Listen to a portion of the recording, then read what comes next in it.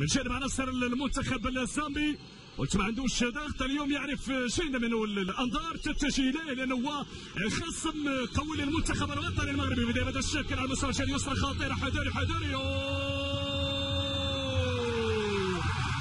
جول جول جول جول جول جول للمنتخب الزامبي. ماذا يحدث مع بداية المقابلة هدف في وقت قياسي ربما يدخل المنتخب الزامبي للتاريخ يعني المواجهات وامام المنتخب الوطني المغربي.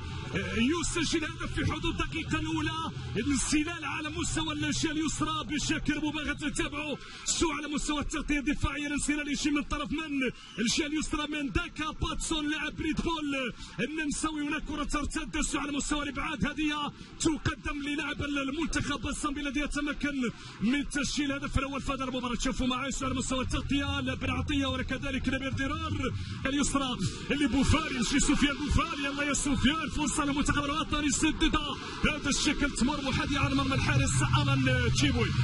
حارس آه، نقالا يونس يتمكن من التمرير كرة خط الوسط حكيم سياش يفتح عن طريق الجميلة تمرير من حكيم لأشرف حكيمي. حكيمي مغربية وأنا متابع من جانب الدفاع. سيما المتهم في مختلف البطولات. نجح تسجيل 21 هدف دراسية تمشي جانبية. كانت فرصة للمنتخب الوطني المغربي غانم سايس والذي من عطيه مجموعة من الاسماء لتجيد التعامل مع مثل هكذا الكرة. قلت تتحدث الكرة الثابتة يمم المنتخب الوطني سياس راسيا جمهور جانبية خروج شران تشيبوي حارس المنتخب السابق يعني كل الطرق الآن ستؤدي نحو الحارس سلان تشيبوي. حارس سنغال شوف هذه المحاولة هذه عرضية النخبة الوطنية. يدخل الحارس سلان تشيبوي. قدام العناصر الوطني سفيان بوفال بوفال يبحث عن المراوغه يتقدم بوفال يرفع عن طريق شميلة. التحضير لم يكن موفقا من يوسف النصيري اللاعب نور الدين مرابط اللي كان في مكان مناسب على مستوى اليوم نتابع العاده ستؤكد ذلك. يوسف النصيري. هذه الرأسية من يوسف. الكرة اللي كانت خطيرة. والأسيست اللي كان من المميز والرائع حكيم زياش بوفال يحضر الجال من الأشرف حكيمي. دور مهم لهذا المنتخب الوطني. سواء أشرف حكيمي ونبيل ذيران سياج سياسة أرضية مش شكل سرع ضغط من بوفال تمريره خاطئه من سفيان بوفال يلعبها ما مرتدى حداري حداري حداري حداري حداري يا سيمون حداري مجازفه فرحوا وصنع العاب المنتخب الوطني حكيم حكيم حكيم سياسه جول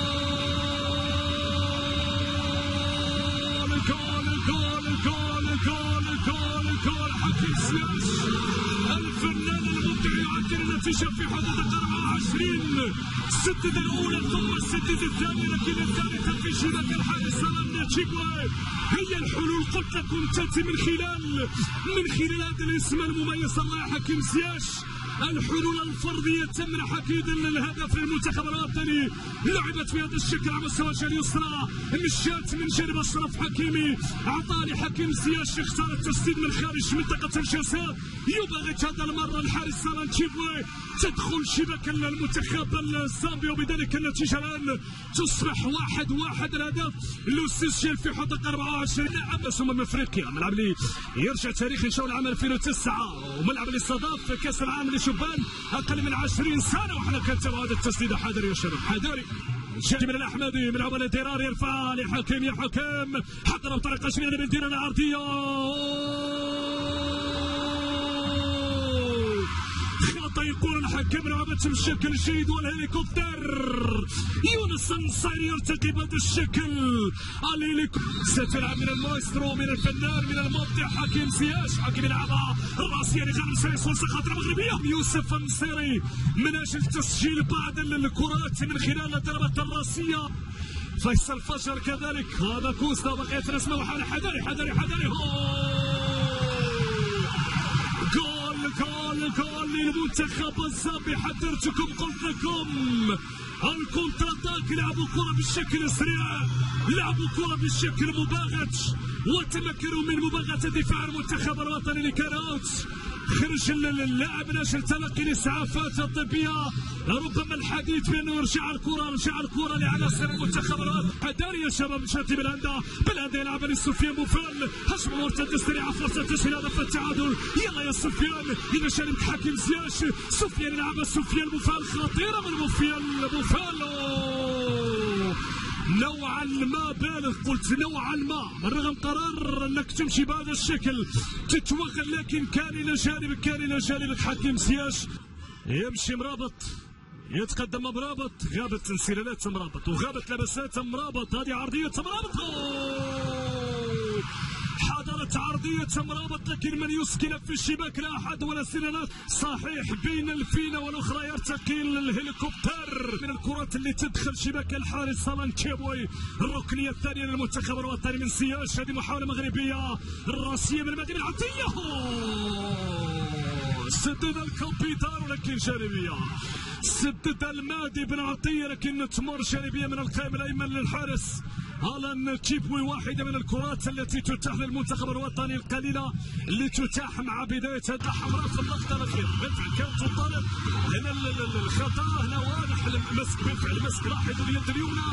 مسك ركبة المهاجم المنتخب الوطني بالفعل ركلة جزاء اللي النخبة الوطنية في انتظار التنفيذ وفي انتظار من سيسدد كالعادة هو المبدع والفنان. هو المبدع والفنان. حكيم سياش ولا بلاش؟ حكيم سياش ولا بلاش؟ جول!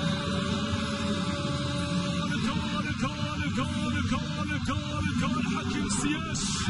قلت لكم حكيم سياش ولا بلاش هو النجم الساطع. هو اسد رصود الأطلس الذي يتالق في كل المواعيد كيفما كانت ودية ورسميه هو يضيف الهدف الثاني للمنتخب الوطني والتعادل. يأتي أيها السادة والسيدات في حدود الدقيقه الرابعه والخمسين نفذ بهذا الشكل كالعادة هذا الرجل هذا هو الهدوء الذي يسبق العاصفه هل سيستغل حكيم زياش مبارك موصوفة؟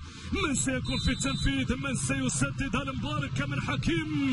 من يسدد حكيم زياش سدد زياش تمشي جانبية عن مرمى الحارس ألان تشيبوي. تمشي ركلة مرمى للمنتخب الوطني تبع الإعادة. لعبت بهذا الشكل. غير مؤطر من جانب حكيم. شوق كبير قلت تنتظر بشوق كبير. هذه محاولة مغربية محاولة خطيرة. ومتابعة من الآن جاب ويضغط عليهم يوسف مسير بين الفينة والاخرى خلق لهم مشاكل عديدة على مستوى دفاع المنتخب الاسامي لاحظوا اللمسة اللي جات الكرة اللي جات من جانب نور الدين مرابط حاول يستثمر يوسف مساري حكيمي لمبارك بوصوفة أشرف في حتى مشات لي بلاندا بلاندا سددها خارج مناطق منطقة المنتخب الزامبي يسقط على تشيبوي سواء جماهير الأندية أو كذلك الجمهور عام جمهور المنتخب الوطني المغربي تمشي رجال اليسرى ملعوبه من مرابط يلا يا مرابط يلا يا مرابط عارضيه راسيه راسية يوسف المصيري قلت لكم يرتقي. عشرة اللي تابعنا دخول الساكا فاتشو هذه كل اسماس يعتمد عليه على مستوى خط الهجوم كرة مغربية يسددها المفجع للكرة الزامبية تبع محاولة مغربية هذه تسديدة.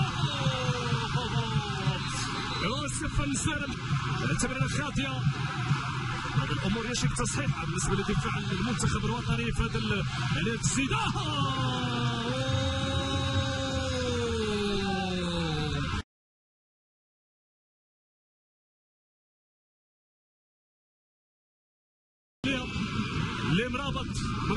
يحضر لي سياش سياش سدد سياش.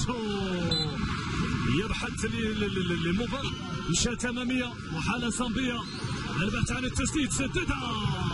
لاحظوا مع الان المنتخب الصامبي بدأ يركز على سياش هنا كره اماميه من سياش. يفتح اللاعب مرابط مرابط تمشي كرة مغربية البحث عن العرضية فرصة مغربية. ما تضيع المنتخب الوطني المغربي البديل. لم يكن موفق يونس عبد الحميد. كان بامكانه أن يستثمر هذا الكرة براسيه ويسكن في شباك الحارس سلام تشيبوي اذا نتابع ضربة خطأ. التنفيذ من شارب يكون من سياش وفيصل فاشر يلعبها حكيم سياش سدد سياش رائعة منك يا سياش وكانت ستكون اروع لو دخلت شباك المنتخب الزامبي يلا نجيبها في المتابعة. كرة صاروخية بالشكل الرائع.